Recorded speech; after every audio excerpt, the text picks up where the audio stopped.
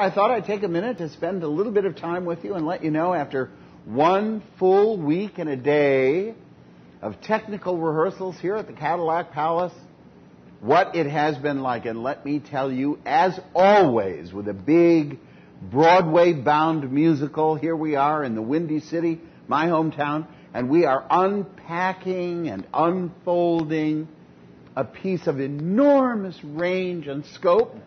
Let me tell you, it is a huge job. It's very exciting.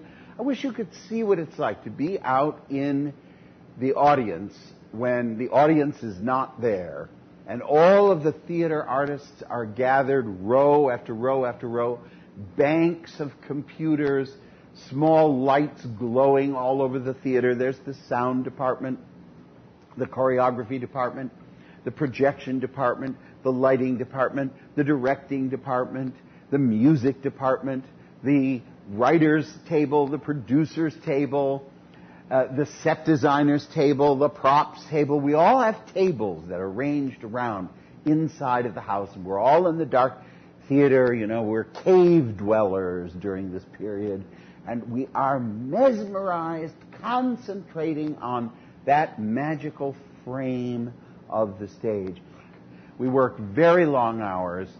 I usually get here to the theater uh, sometime before 10 in the morning, and I, I don't see the light of day, on, and I don't get out usually until close to 11 at, at night. And this is day after day. This is six days a week, and we have a day off coming tomorrow, and then we have one more day off before we go into a period of about 16 days without a single day off. We have what we call, and it comes from opera, Sitzprobe. It's not what you think. It's not about the complexion.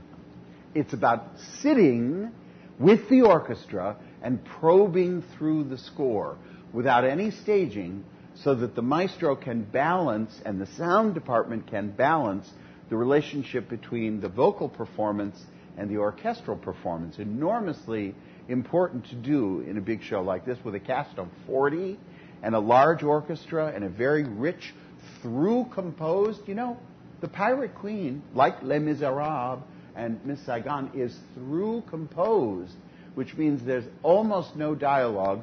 The music is ongoing, keys change, numbers flow into one another, so it's a seamless outpouring of music, and that's a very, very complicated, um, uh, long course to try to get control over the changing tempo, the changing colors of the musical score.